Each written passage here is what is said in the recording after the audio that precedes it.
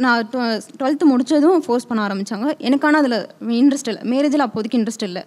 எனக்கு ஸ்டடீஸ் முடிக்கணும் ஜாப் போகணும் எனக்கு நிறைய தெரிஞ்சுக்கணும் கற்றுக்கணும் அதுதான் என்னோட ஆசை. ஆனால் அவங்க ஒரு அதுக்கப்புறம் காலேஜுக்குமே வந்துட்டு இது போ- தடை போட்டாங்க. இல்லை மேரேஜ் பண்ணிவிட்டு நீ போ அப்படின்னு சொல்லிட்டு. எனக்கு அதுலேயுமே இன்ட்ரெஸ்டே இல்லை. என்னோட பிடிவாதத்தில் தான் நான் காலேஜும் முடித்தேன் ஜாப்க்கு போகிறதுக்கும் அலோவ் பண்ணவே இல்லை.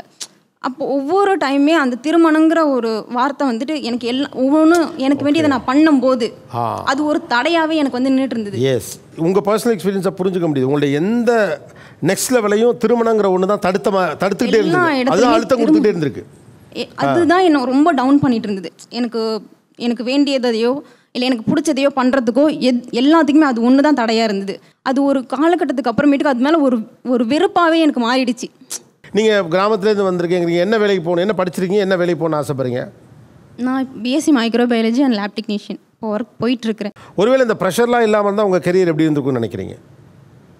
ஐ திங்க் நல்லா இருந்திருக்கும். ஆக்சுவலாக எனக்கு சின்ன வயசுலேருந்து டாக்டர் தான் படிக்கணும்னு என்னோட ஆசை. என் ஃபேமிலி பேக்ரவுண்ட் கொஞ்சம் கஷ்டமாக இருந்தாலும் எனக்கு ஸ்டடீஸில் அப்போ ரொம்ப இன்ட்ரெஸ்டிங்காக இருந்தது. லெவன்த்து வந்ததுக்கு அப்புறமேட்டுக்கு மேரேஜ் பண்ணணும் அப்படிங்கிற அந்த ஒரு ஒரு ஒவ்வொருத்தவங்களும் சொல்ல சொல்ல ஒரு மாதிரி டவுன் பண்ணிடுச்சு. ஓகே நம்மளை இதுக்கு மேலே எதுவுமே பண்ண விட மாட்டாங்க. நம்மளோட லைஃப் அவ்வளோதான் எண்ட் ஆகுது. நமக்குன்னு எந்த சந்தோஷமும் இல்லை எந்த இதுவுமே நம்மளால் பண்ணிக்க முடியாது. அப்படிங்கிற ஒரு நெகட்டிவ் தாட்ஸ் தான் நமக்கு கிரியேட் ஆர கிரியேட் பண்ண ஆரம்பிச்சது. நீங்கள் ப்ளஸ் டூ படிக்கிற லெவன்த்து படிக்கிறப்ப உங்களுக்கு கல்யாணம் பண்ணி வைக்கணும்னு பேச ஆரம்பிச்சிட்டாங்களோ? அது டுவெல்த் எப்படி பாதிச்சிச்சு?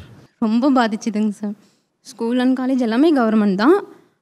டென்த்தில் வந்து four fifty social science centum டுவெல்த்தில் வந்துட்டு எயிட் ஹண்ட்ரட் சம்திங் தான். இந்த ப்ரெஷர் தான்.